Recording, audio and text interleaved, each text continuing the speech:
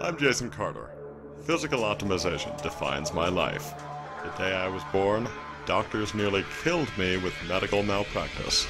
They said I'd never walk. I've been proving them wrong for 35 years. It's easier than you think to obtain super optimal health. I've devoted my life to it, and with my help, you can too. I'm Jason Carter, and this is Enzymental.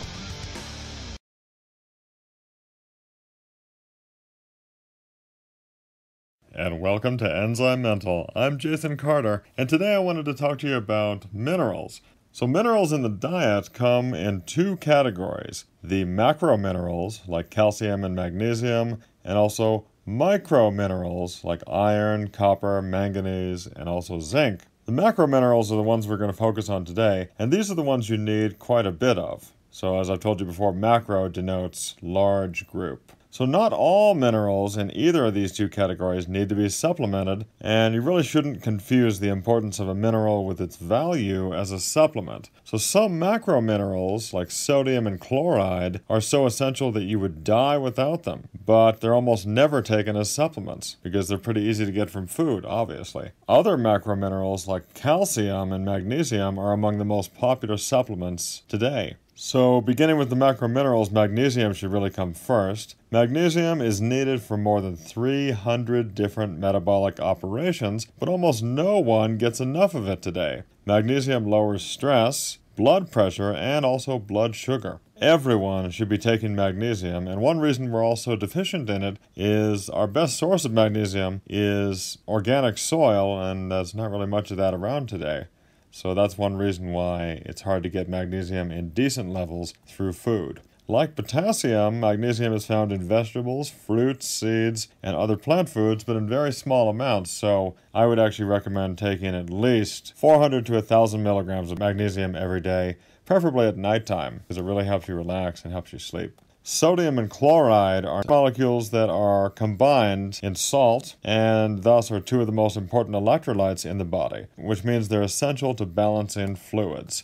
Almost no one needs to supplement with sodium today, obviously, but they are critically important. Potassium is vitally important for the heart, and it has a symbiotic relationship with sodium. You need the two to be balanced or to favor potassium. You need thousands of milligrams of potassium a day, and it's next to impossible to get that from supplements because most supplements are set at a strict limit of 99 milligrams, which is recognized as about 3% of an adult's daily value. So, virtually every plant food has some potassium, so this should give you an incentive to eat more vegetables and fruit. Calcium is also one of your macro minerals, and the conventional wisdom on calcium is turning out to be only partially true. You definitely need calcium for strong bones, but you want to try to get those best calcium deposits in before age 25. It's no longer clear that supplementing with calcium in middle age particularly when not accompanied by synergistic nutrients like vitamin D, vitamin K2, magnesium, and the trace minerals boron and silica, is very effective at preventing fractures or osteoporosis. Most people take way too much calcium today, which is why I actually advocate for a much smaller dose of calcium, somewhere around 250 to 300 milligrams a day, because you are getting a good amount from food every day, and you really don't need to take very much. And absolutely, whatever dose you're taking, please take it with at the very least vitamin D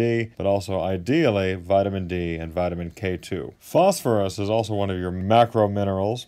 And 85% of the phosphorus in your body is found in the bones and teeth. Phosphorus actually helps to filter waste in the kidneys and helps to synthesize and absorb vitamins and minerals from food. Almost no one needs to supplement with phosphorus, however, because good food sources of the mineral include sunflower seeds, raw milk, beans and legumes, tuna, broccoli, and also eggs. The final macro mineral is sulfur, and sulfur naturally occurs in hot springs and volcanic craters, as we all know. It helps to relieve arthritis and muscle pain, and bathing in a sulfur rich pool of water really does wonders for, for the skin and the joints. And this is one reason why methyl sulfonyl methane, or MSM, which is just bioavailable sulfur, is so beneficial for primarily the joints, but also all the other parts of the body affected by collagen. And that would be the hair, skin, nails, muscles, ligaments, tendons, all those things. Onions, garlic, leeks, and cruciferous vegetables are all exceptional sources of sulfur, but probably the best way most people get it is through taking MSM supplementally.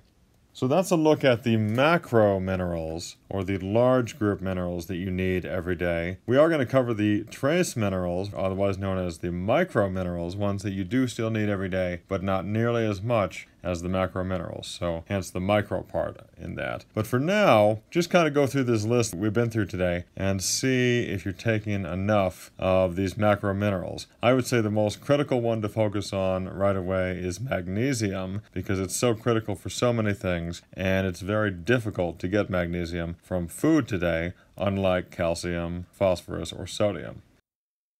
Thanks for watching. I'm Jason Carter, and I'll see you next time on Enzymental. Stay healthy.